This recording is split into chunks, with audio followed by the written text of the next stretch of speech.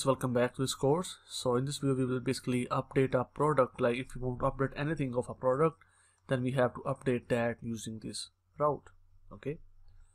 So first of all I will simply type here like update product that goes to slash API slash v1 then the product and then the ID of that product okay oops that is only id so exports dot update product equals to async request response next. So first of all I have to find the product. Simply type here const product equals to await. Oops product dot find by id that is request dot params dot id and I'm going to copy this one from here and if product doesn't exist and simply pass here message that success false and product not found with the 404 status code okay? But if it exists then we have to update the product okay? So I simply type here product like let's add here let because I want to reassign it. So let product and then oops simply type here product equals to await product dot find by find by id and update. So this is a function that will find it by id and then update it. So find by id and update. So the id is request dot params.id and then we have to pass in the new data that is in request.body okay. And then we have to pass here some uh, pass a uh, object here that is new to true just to avoid some warnings. And so type here run validators. That is true.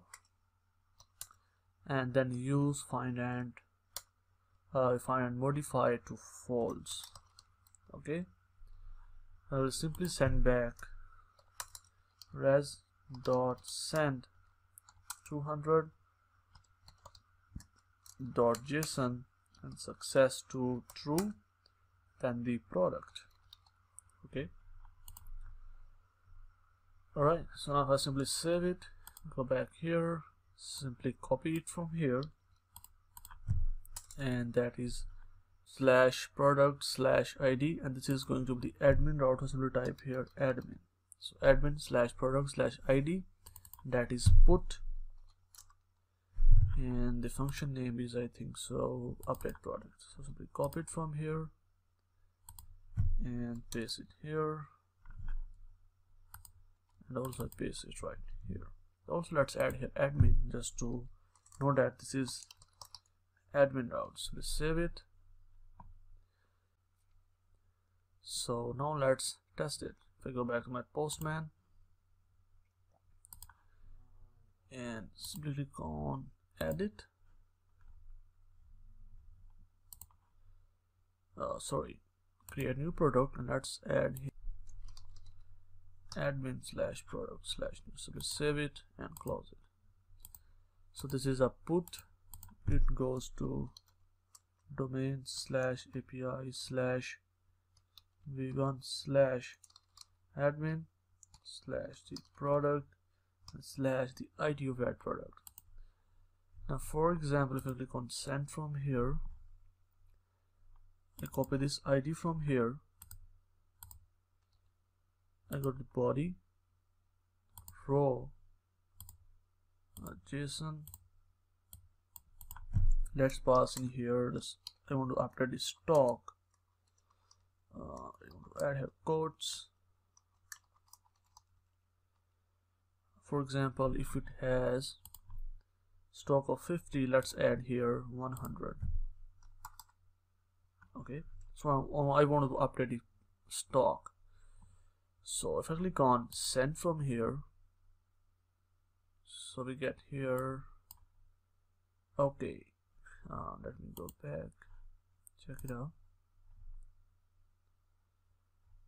So I think so we have some error here. Let me check it out. Cannot send headers after they're sent.